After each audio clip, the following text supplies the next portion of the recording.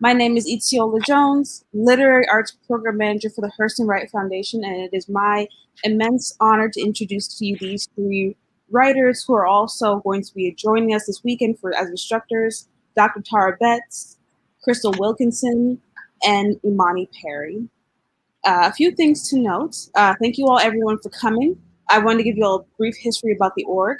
Founded in 1990, over the last 30 years, through our programming, partnerships, and events, we've discovered, honored, and mentioned black and mentored black writers in the world of the literary canon. Our summer workshops are our signature programs, and today marks the kickoff of our 2021 Writers Weekend, which we will be sharing with these three incredible writers. So without much further ado, it is my honor to introduce Dr. Tara Betts. Dr. Tara Betts is the author of Break the Habit, Arc and Hue, and forthcoming Refuse to Disappear. In addition to her work as a teaching artist and mentor for young poets, she has taught at several universities, including Rutgers University and the University of Illinois Chicago. She recently taught poetry workshops for three years at Stateville Prison via Prison and Neighborhood Arts Project Dr. Betts is poetry editor at the Langston Hughes Review. She's also in the process of establishing the nonprofit organization, the Whirlwind Learning Center, on the south side of Chicago. From the comfort and safety of your couches, give it up for Dr. Tara Betts.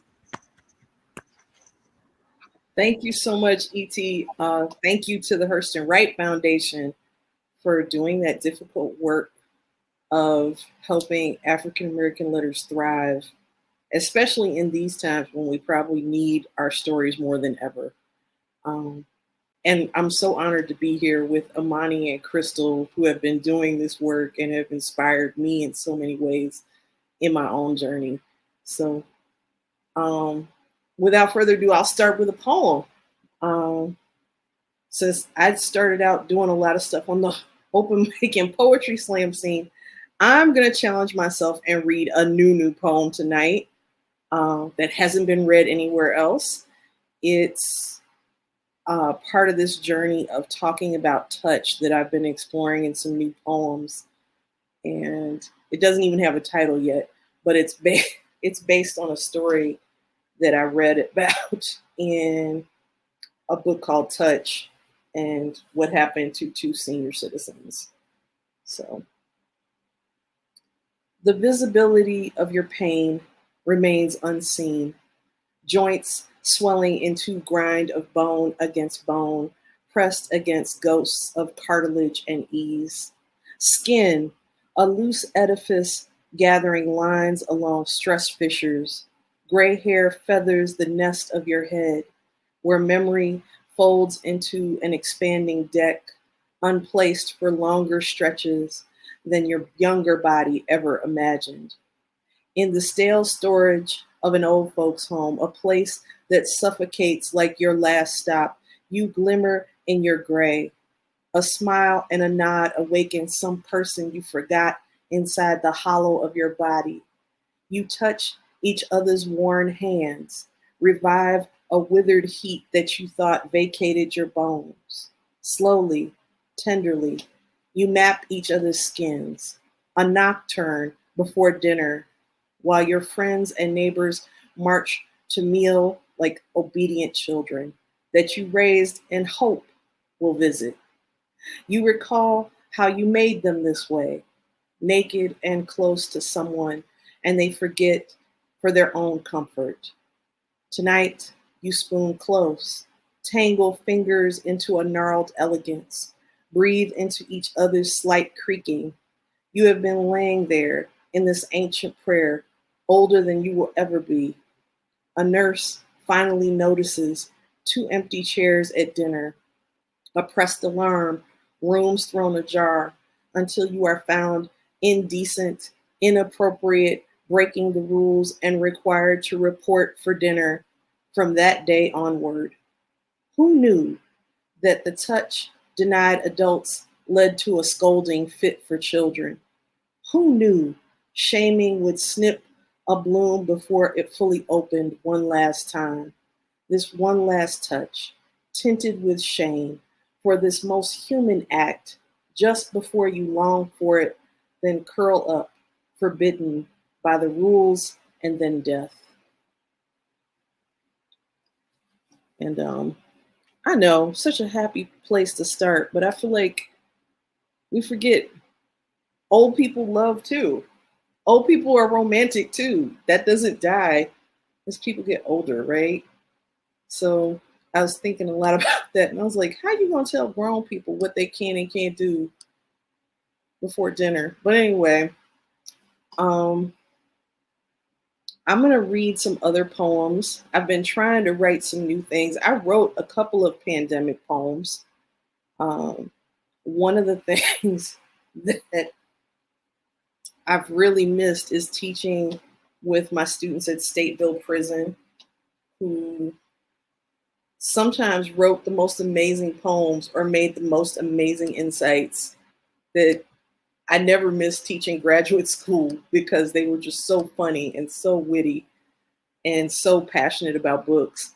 So this is a poem that I wrote for one of them.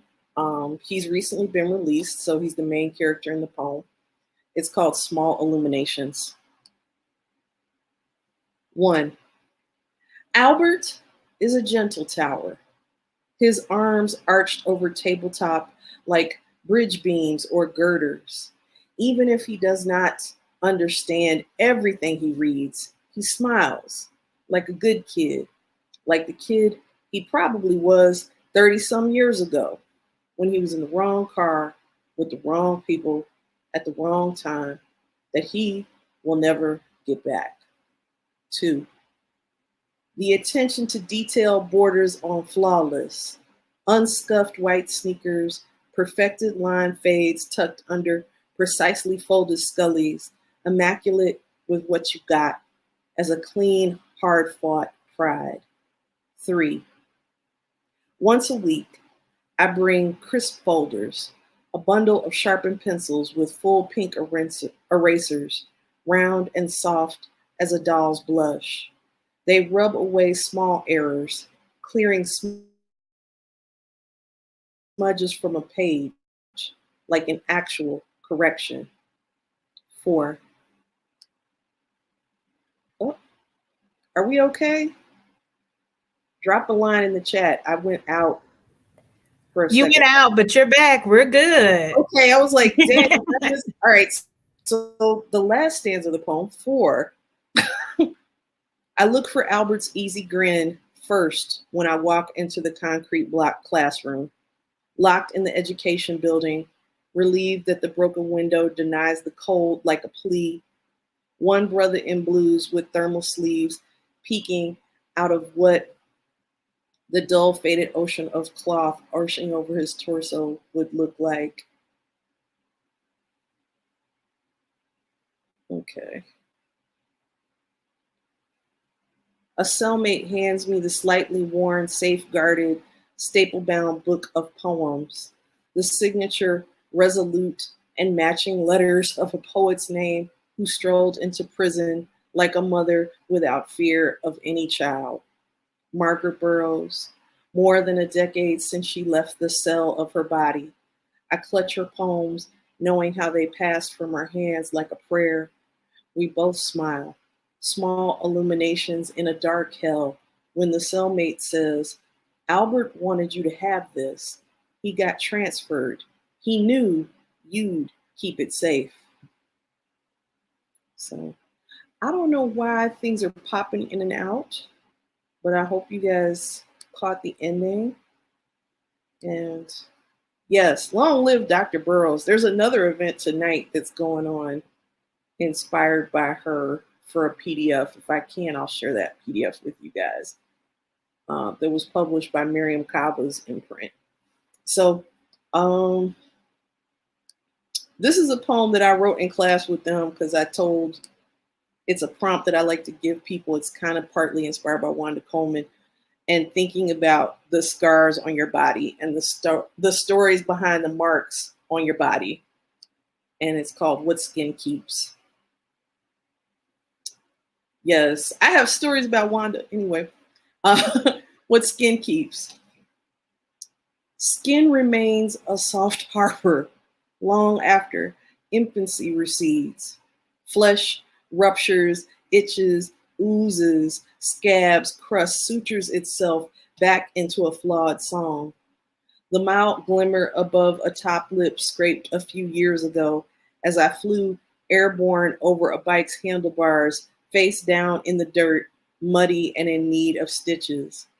The notch below my ribs on the right, where a chest tube pumped air into my defiant lungs. The long, tough arc of keloid from breast to shoulder blade, where a surgeon wrestled the tumor, an unwelcome fist away from heart, lungs, and esophagus. A shiny inverted teardrop carved into my left thigh when I clung to a wooden door frame, then leaped to another and missed, losing my grip and hitting the unforgiving corner of a metal bookshelf. The glint on a left pinky toe, almost lost at age five to the brutal clamp of a recliner's undercarriage.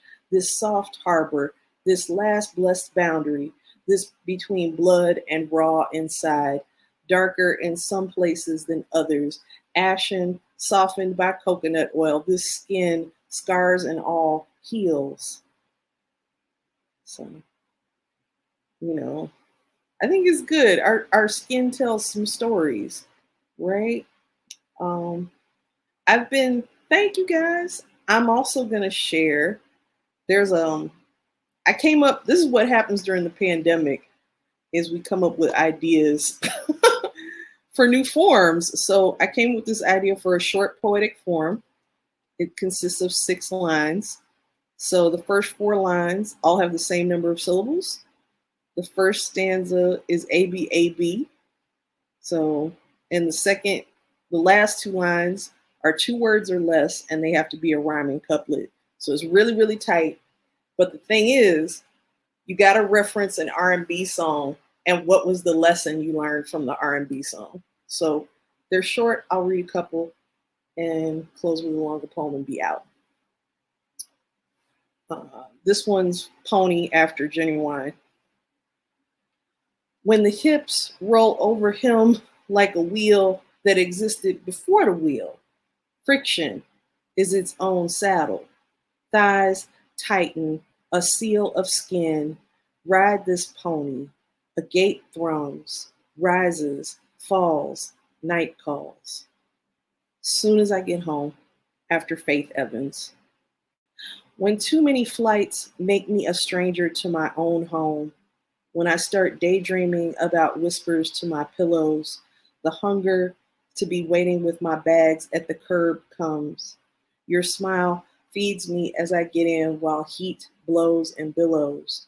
I miss simply this. I can see in color after Mary J. Blige.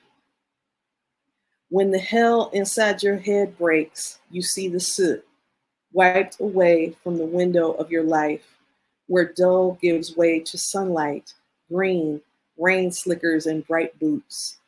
The leaded grief, the tonnage depression brings, so you call this pallor for color. Um, I keep thinking Mary J. Blige really was the inspiration for this form, so I'm gonna close with this Mary J. Blige 411 and another poem. then I'll be quiet. Ain't really love. That moment when a woman drops her chin and shakes her head, and all that cold seeps from his words, comes icy out his mouth, lets you know how the house been crumbling, the peeling paint, lead. He's a wrecking ball, crushing the rubble in this last bout, a demolition she shunned. So, um, this last poem is um a short golden shovel. And I'm sure some of you are familiar with the golden shovel. Um, the N words basically traditionally spell out a line from Gwendolyn Brooks. And this one, I think, is a good affirmation to carry with us through the weekend because as writers, people try to tell us we're nobody and we don't matter or we're not important or if you're a woman or if you're a black person or if you're a person who's queer, like all of those different identities collide with a world that isn't always welcoming. And I kept thinking about I don't want nobody to ever tell me I'm nobody. I'll be like, mm, all right. So this poem is called Nobody is Not Driving. So you guys are driving. You're behind the steering wheel. Remember that. Nobody is not driving. Spend a lifetime shunning the word nobody. You have never heard it, don't know what it is. A half crushed nest of hornets, furious. Flight of your refusal. No one calls you nobody, is only ever matched by someone who hates everything you ever represented, not those traits you chose, but what makes you people, folks, fam, love, a pound and a fist bump at the door when you're greeted by the least of your kin, who have never seen no nobody belted in your seat, clutching the wheel, driving through your hopefully long, well lived life by pushing you aside and trying to put you in some fading, forgotten parking lot. This life was never theirs to steer, an empty car. So, thank you. And I hope you guys have a very productive weekend. Thank you so much, Tara. Give it up one more time for Tara Betts. I'm in my living room by myself, but the energy still keeps going. Up next, it is my great pleasure to introduce to you all Crystal Wilkinson. Crystal Wilkinson is a USA Artist Fellow, is the award-winning author of The Birds of Opulence, winner of the 2016 Ernest J. Gaines Prize for Literary Excellence. Come on, literary excellence, let's go. Water Streets and Blackberries, Blackberries. Her first collection of poems, Perfect Black, will be published in August. Nominated by the John Dos Passos Award, the Orange Prize, and the Hurston Wright Legacy Award, she has received recognition from the Yaddo Foundation, Hedgebrook, Vermont Studio Center for the Arts, the Fine Works Center, Provincetown, and others. She has been nominated for two Pushcart Prizes, and her short stories, poems, and essays have appeared in numerous journals and anthologies, including most recently the Kenyon Review, Story, Agni Literary Journal, Emergence, Oxford America, and Southern cultures. She currently teaches at the University of Kentucky, where she is an associate professor in English in the MFA Creative Writing program. Please give it up for, for Crystal Wilkinson. Thank you so much. It's so good to be here. It's wonderful to read with Tara and Imani, and it's also wonderful to be back here uh, after so many years uh, to Hurston Wright. I was saying earlier that I was in that first Hurston Wright week that um, Marita and Clyde did in 1996. Uh, so here I am today, and I'm so happy to be here. Um, I'm going to read a story that was published in, in Agni, and um, you know I'm around a lot of young people uh, and have grandchildren, so um, I was rereading Susan Sontag's The Way We Live Now, and she wrote a story in the 80s about the AIDS crisis. And I started thinking about what is the crisis for young people. And of course, um, police brutality came up. So the story is about that. And um, what I've tried to do is, is shrink the story. So I think it, I hope it still makes sense in this short period of time. It was a hard story to write it's sort of a hard story to read, uh, but it does have a, a turn at the end, and I hope you enjoy it. The way we live now. We thought Kendra was playing about him being shot in the first place. Not him. He had good grades, Tika told Freddie, and he was planning to go to college, according to Trey, because they ran track together. But he did smoke a little weed, Erica pointed out, at least once because she was there but the counselor at school confirmed that he had, in fact, applied to four universities. He was a finalist for two scholarships, Marie told Phil, which meant he wasn't the kind of dude to just be walking around reckless. That kind of shit ain't him, Kai said and cried when we found out because him and Kai was tight. He was so little, Sabrina said and slapped the back of her hand against her open palm when she heard the police described him as menacing. Five seven one fifty, she said, and shook her head until her box braid slapped across her chest. I heard he had a gun on him, Tanisha said to Trinity, which might mean that you never really know a person or what they're capable of. But Trinity said he didn't have no gun. Dontre, who was there when he got shot, said dude was just holding his cell phone. Dontre run his hand over his chin, then said, shit's fucked up. The school kept offering grief counseling, and a whole lot of us went just to get out of classes, but Dontre refused. Kendra said she heard Dontre whispering, fuck all of this, every time the office called him out of homeroom to talk. Dontre went to the guidance office only about scholarships, Marie said to Phil, which meant maybe Dontre was thinking about going to college. Big Hodge at the corner store said, nice and respectful kid, always smiling, cutting up, no trouble at all. And then Big Hodge invited all the neighborhood kids to get a box of hot tamales and a bag of jalapeno potato chips on a discount because that was our homeboy's favorites. But when Big Hodge confirmed all of this during his interview with the television reporter, the manager at the Burger Shack called the station to say he was the one who called the police. Trespassing, the Burger Shack manager yelled into the microphone when the reporter came to the restaurant, flashed a mic, and said, asked him why he called the police.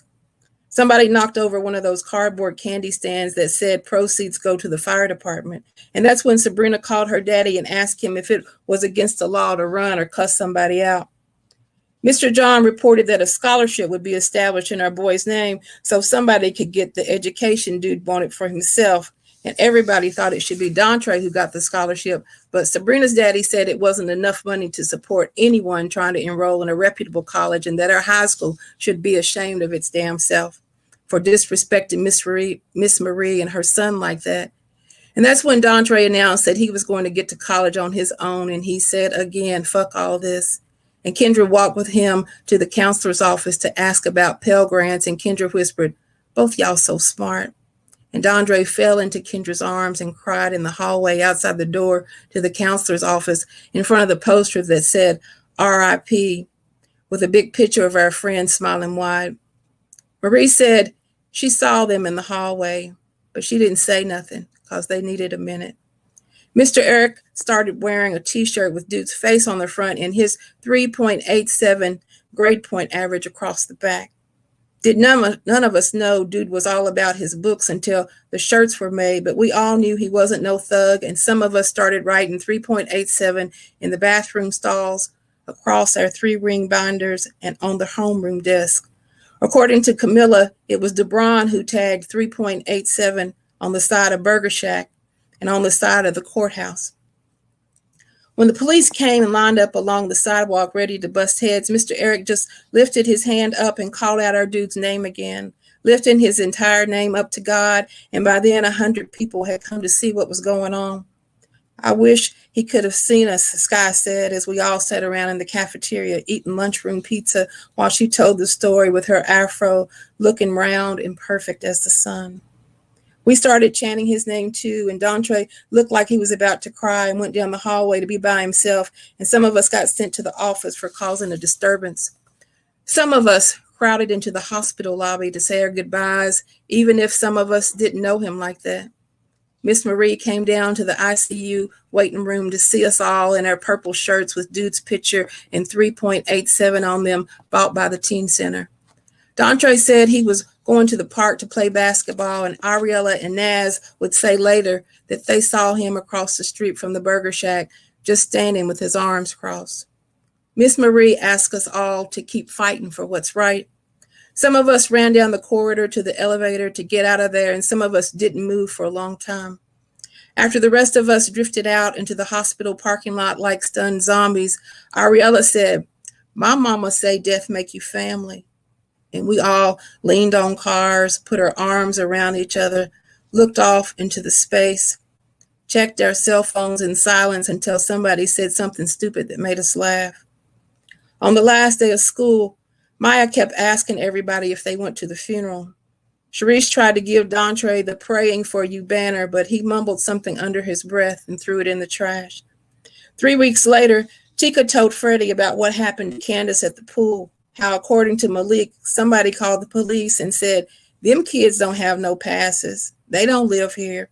But Candace had already gotten permission from her uncle, who lived in apartment 12 while he was at work. Malik said when the police came, Candace stood on one of the pool chairs and yelled, My uncle lives here. My uncle lives right over there. That's when the cop tackled her to the concrete and messed up her face, then handcuffed her and bent her arms back so far she had to go to the emergency room. Tanaya said, Candace shouldn't have been standing on that chair. She might be a cheerleader, but that cop gave zero fucks about that until her mama came and somebody posted a video on Facebook. Tika told Freddie that Candace had planned to transfer to a performing arts school next year. Trinity said, Don't matter if she's a dancer or a cheerleader or a giraffe. She's still a black giraffe, Tanaya agreed. Kendra announced that she had stopped by Candace's house and that she was improving but depressed. I'd be crazy, Tanaya said, if a cop put his hands on me like that. Later that summer at Anika's birthday party, we were all milling around the yard when Dude's sister Tiffany showed up looking like she wasn't getting no sleep, rubbing her fingers across a watch slouching on her wrist that Dontre said belonged to Dude. How's Miss Marie? We all asked. She good, Tiffany said, scratching her eyebrow. Still waiting to see what happens with that cop. Ah, girl, we loved him, Trinity said, and stepped on everybody's shoes to move in close and give Tiffany a hug. We were all awkward and quiet, but had come to realize in a few weeks what Ariella's mama meant when she said, Death make you family. Some of us had started to move in closer to Tiffany needing to hug her or just lay our hands on her shoulders when Candace walked in wearing a bright yellow sundress that glistened against her dark skin. Her arm was still in a sling and she had on heavy makeup, but we could still see the outline of the scrape place along the side of her face. She wore a thick smear of pink lipstick and dark sunglasses, which made her look like a superhero or a soldier home from war, a survivor. So when she made her way toward us, switching like a runway model, we stepped away from Tiffany, stopped crying, and started clapping as if Candace had just given a speech or won a prize. Jonisha said, Turn up the music, and we started dancing. Dante was in the corner of Anika's yard with his foot pressed up against the fence and stepped out to give Dude's sister a hug before he slunk back against the fence. Maya and Anika slung their arms around Candace's neck while Kendra gently placed her hand on Candace's back. Blair walked up on Candace and flashed a flirtatious smile, stroked a mustache he didn't have yet, and said, Damn, Queen.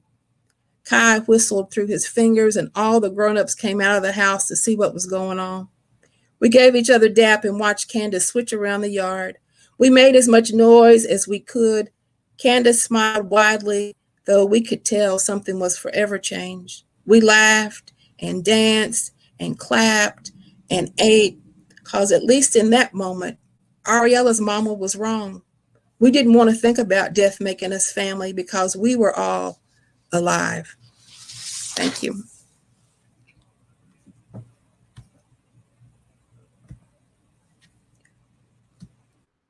Thank you so much, Crystal. Give it up one more time for Crystal Wilkinson. Bam, bam, bam.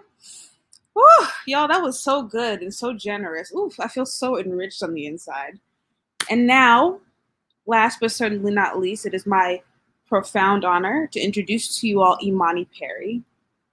Imani Perry is a Hughes Rogers Professor of African American Studies at Princeton University and the writer of six books, okay, including the award winning titles Looking for Lorraine, The Radiant and Radical Life of Lorraine Hansberry, and Breathe, A Letter to My Sons. Please make as much noise as you can from the comfort of your couches for Imani Perry.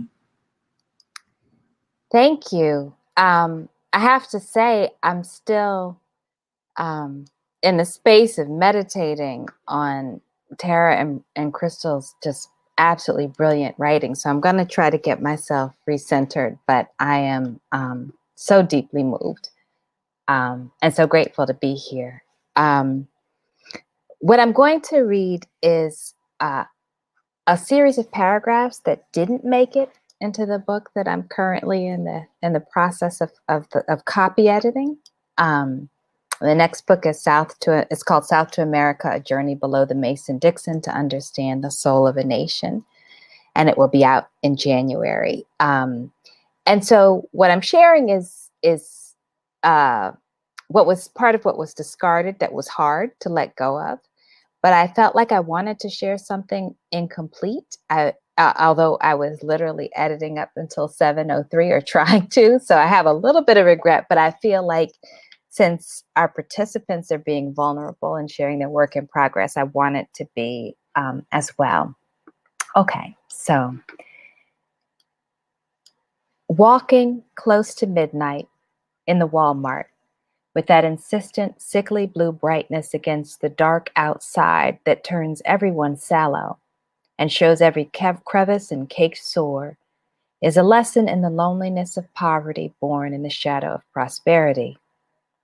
Sometimes a person jonesing or tweaking looks you dead in your eyes and smiles a little bit with ashamed courteousness if you aren't a reporter asking them to spill their guts. Sometimes you walk behind a man with his hair plastered to the back of his head, dirty blonde, and he's fussing with his girlfriend, and the cursing sounds more like frustration than anger. Sometimes a mama saying that the children ain't getting nothing is meant to sound disciplinary, but comes out sad by mistake. Somebody has bad teeth. You might think about the blood streaming from his mouth and how the ever present bad taste and the feeling of bloating around each tooth can make a person especially miserable when there's nothing to do about it, and how when the dead tooth finally falls out, it might be a relief. I, a black woman witness, am unremarkable in every aisle. No one does a double take. In proximity, though my body is always raised, my presence is not alarming. We are all regular folks in a regular place, presumed to be scuffling, as my grandmother would have said it, through life. Walmart is Southern. The Walmart Family Foundation, the charitable giving arm of the richest company in the world, affirms my claim that the Southern region is the true heartland of America. They say, in official documents, that the heartland reaches much further south than the Midwest, all the way down to the coasts of Alabama and Mississippi. Its most recent report on the Heartland describes their work as follows. This report is intended to help Heartland leaders and citizens get on the same page about the region's current condition and its trajectory at a crucial time.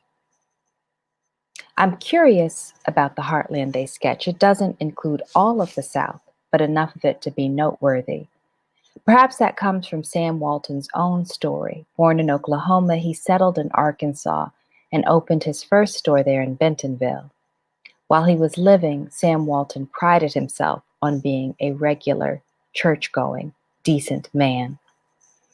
He graduated from college and went to work at Penney's. In World War II, he served in the Army, ascending to the rank of captain. It was after the war that he first entered into the world of what was called variety stores. His success was attributed to a $20,000 loan in 1945 and key insights into how people lived. With a smaller profit margin, he decided to build stores that would provide everything one could want in one location. For people in rural areas or small towns, the combination of good prices and convenience were hugely appealing. Add to that the practice of loss leaders, selling some items at cost or below cost and offsetting the loss with other goods grew their business further. But maybe it wasn't Walton's personal story, but simple observation. The production of wealth, the mastery of exploitation, the engine of markets, the gospel of prosperity, these are things at which the South has always been cutting edge. The very idea of the supermarket began in the South. Piggly Wiggly, founded in Memphis in 1916, was the first grocery that allowed people to wander the aisles and gather their own goods with prices marked on them, rather than giving a list to a clerk. Removing the need for a clerk cut costs for the store and increased the consumer's purchasing. You could just snatch things off the shelf as the feeling hit you. And they gave customers shopping carts so you could buy more than what fit in a bag or your hands. And then there was Kresge, the company that would give us Kmart in 1962, which was also started in Memphis in 1916. And of course, dollar stores. Convenience, affordability, and feeding desire are hallmarks of how the South has fed the growth of retail in the United States. Walmart is simply the most successful example, having effectively eaten up local grocery stores and competing companies. In many places, it is all that is left. Though Walton was from Oklahoma and started his business in Arkansas, it's worth noting that there was little geographic distance between his home and his empire. Nowadays, Oklahoma is the Midwest, Arkansas is the South, but they're so close, I guess they slip into each other. The Arkansas Territory was created out of the southern part of the Missouri Territory in 1819 with a cutout for the, Miss, for the Missouri Bootheel, a wheat farming, white populated region. Arkansas Territory thus included all of the present state of Oklahoma south of this latitude. It was a rough and tumble place that got its final boundaries in 1828. The set, white settlers had forced the Quapaw out to, their, to a reservation in Louisiana in the 1820s, but they returned to their homeland by 1830, then forcibly removed again within a few years. Arkansas had by then become, like much of the South, a slave and plantation based cotton economy. Enslaved people in Arkansas picked cotton, but the men were also taken to the southern tip of the state to clear swamps, living on a diet of fatback and cornmeal and eaten up by mosquitoes in the humid, disease ridden environment. They died at a remarkably high rate. All that to say, Oklahomans sometimes get counted as Southern. For example, most literary historical accounts, Ralph, by most literary historical accounts, Ralph Ellison is Southern, and by most country music accounts, Reba McEntire is too.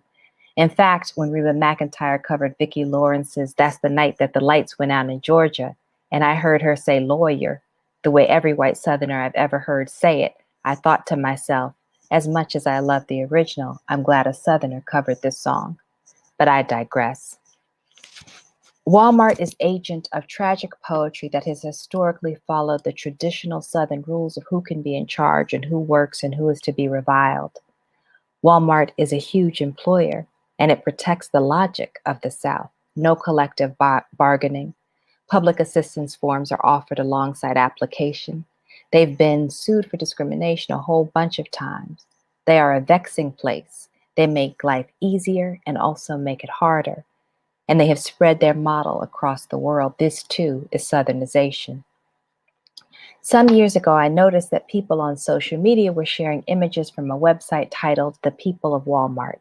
It mocked them. Poor people, but especially poor Southern folks, were fodder. Photographs of people in Walmart in states of undress or personal crisis were served up as humor. We, the viewers, were enlisted to humiliate them. Now, don't get me wrong, Southerners laugh at these folks too, even Southerners from the same walk of life. The eccentricity is built into the South uh, and is cause for a great deal of laughter, but you can be laughing at the same folks, but not laughing at the same thing. There are plenty of poorly shaped garments, house shoes, snacks to buy at Walmart. You can also buy guns and gun storage units, cameras, and tree stands to help hunters locate the hunted, decoys to confuse the game, and for the more, more old fashioned archers, bows, and arrows. Walmart is a theater, a scene of greed and excess, so much stuff, and the characters, the people of Walmart, dressed up their fantasies of who they can be for a while. I suppose there is something jarring when, stepping back from the edge of fantasy, one realizes that all of this consumption is not a fantastical escape. It is a mirror. Arkansas has the highest rate of gun ownership in the nation at 57.9% of people owning a firearm. Other, other southern states aren't far behind 48.9 for Alabama, 54.2 in Virginia. Walmart itself stopped selling handguns and ammunition in response to a mass murder at a Walmart in El Paso that targeted Latinos. The tragedy elicited horror and heartbreak. It seemed to shake something up in corporations, briefly at least, but it is important to know that you can be crying at the same event but not crying at the same thing. We're all killing people quietly every day. Invisibility is not that much different than a shot.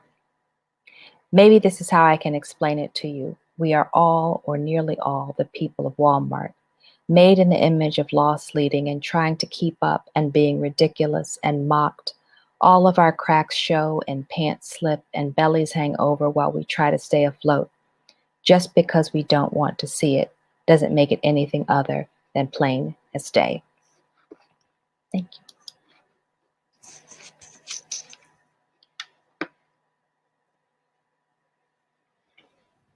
Give it up one more time for Imani, y'all. And Tara Betts and Crystal Wilkinson. Make as much noise as you can from the comfort and safety of your couches. Um, can I have all three of the of our of our wonderful readers back on the center stage?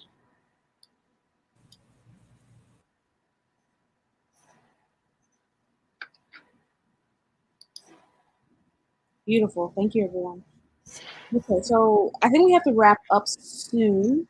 But does anyone in the in the question in the uh, chat have any questions for our readers? I think I see two right here.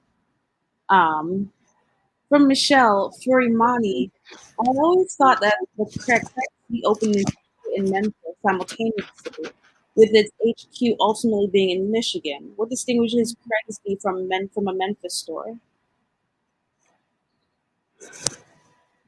Oh, well, I'm not sure, you know, so so yeah, I mean it, the stories with a lot of these corporations which is, you know, this this doesn't get fleshed out partly because it's it's cut out, but that many of them are they become they're they're built of two either two locations or two smaller companies that join. And so the genealogies are really complex but the model of the variety store there are there are midwest models but the model of the variety store that rests upon the model of the um, of the supermarket beforehand becomes that is a southern innovation on the one hand and two oftentimes those who start those kind of companies in the midwest are people who have migrated white americans who have migrated from the south so there's something about the idea of that kind of space that has to do with the you know kind of general stores that also have to do with actually the way um, businesses are structured on plantations themselves. So it's a mm-hmm. longer, more complicated story than we probably have time for. But yes, that's a good point. Okay, wonderful. Uh, Crystal, I have a question for you. Um, your writing is gorgeous, obviously. It's that that's a given. But there's a way in which you're able to take characters and you you are able to create these tender spaces in places where there's often violence, especially when we think about the public school system and how that often leads um, disenfranchised youth, notably young black men, into the prison pipeline system. My question is, um, in your this might be a little too personal, and feel free not to answer. But where in your personal life do you draw inspiration from, insofar as creating these complex characters um, that may often seem fraught, but find themselves in these sort of predicaments where they have to find a way to fight themselves out, so to speak. And let mm. me know if I rephrase my question. Um, well, I mean, it's it's simple. I'm a, I'm a mama. I'm a grandmother. I'm a teacher. You know, I'm a professor at UK, but I also go into the community and um, and teach kids. So um, you see these complexities uh, and the pain of our children all the time, and so that's where the inspiration comes from mm. because we get to see all the violence and we get to see uh, the the bad things that the public sees that they do, but we don't often see the tenderness that they have with each other, and we never see the aftermath of a shooting and and, and how it impacts the children in that community. So, it, it is personal. Uh, it's very personal, but thank you for the question. Thank you for the answer. Uh, Tara, this question is for you. Um, so I, one thing you and I definitely have in common is that we both taught in prisons, um, and it's definitely shaped our pedagogy and how we approach um, teaching. And I think I can definitely agree with you passionately that I love teaching in prisons, maybe more than in graduate programs. Um, how has teaching in in um, in prisons and maybe uh, low security facilities how has that influenced your writing? how has it also influenced the ethics of your writing as well? Um, if it has. I think in some ways it makes me think about what about language is dangerous to the state? Mm-hmm. I think about that a lot because I think about what I can no longer or what I can't bring into the prison, right? Um, for example, one semester I was teaching Aimé Césaire's notebook of a return to a native land because they were like, we want to look at something in language that's just totally different from everything else we've read. I said, all right, I'm gonna bring something crazy. and they were just like, okay. And so when they looked at it, they're like, oh my God, what do we do with the opening page? And I was like, read it for the feeling. I said, read it out loud, you know. And there's this line on the first page where they're talking about the pigs of the state and everything else. And I'm like, I'm glad I put it in the middle of the reader because everything I bring in gets submitted to the warden they approve whether or not I can bring it in. So mm-hmm. Things that you would normally do in another classroom get policed in ways that don't get policed in a normal classroom. But also just like paying attention to small things, which I've always tried to do in a poem. Like what's a small thing that conveys the feeling and and thinking about things in a meditative way because the place where I'm at isn't minimum security. I'm in a maximum security prison that was the last, it had the last remaining panopticon style structure until 2016. Hmm. So it's it's extremely repressive and for them um just thinking about that whole thing of what you are grateful for and trying to create some little corner of space where you can just think because they're stacked. Like the one time I went into a block, I think it was like five or six floors. Mm-hmm. There's at least 15 cells mm-hmm. on each floor. And there's two grown men in a tiny room that's smaller than my bedroom. And it makes you think about that. Like, how do you find mental space where there's constant noise in a crowded, compact space where people don't even think you deserve certain rights as a human being? Absolutely. You know, but it does make me think about writing like, you better get your hustle together, do it. You know, there are people who do it, they're in these horrible circumstances they shouldn't even be in. Mm-hmm, mm-hmm, mm-hmm, mm-hmm. Absolutely. Thank you for that. We have a few more questions and we gotta wrap up the evening. Um, this question is for you, Imani. Thank mm. you for all your powerful readings. I'm wondering how you decide to cut sections you read to us. Do you feel as though the things you convey in this section were addressed in other parts of the book, or did you just have to let them go? So I love that question because I feel like it points to a big part of what I think is important about nonfiction, at least for me, in the in the sense that you know there's nonfiction writers are given a lot of leeway to be indulgent in ways that are at always um, a risk of becoming a being make the the risk is that craft becomes less important so if you think about you know the you know both tara and and crystal's read the the the economy of words has mm-hmm. this incredible resin right like so the choice of you know not so for example the choice of not saying this character is this or this person is that right? So you hear these voices of these kids and you get you learn their personalities through the series of sentences but not necessarily through with description right? Or you know in the initial poem that that um that that tara read where you know what's happening right? Like and it does not like this person is this age and this per- right?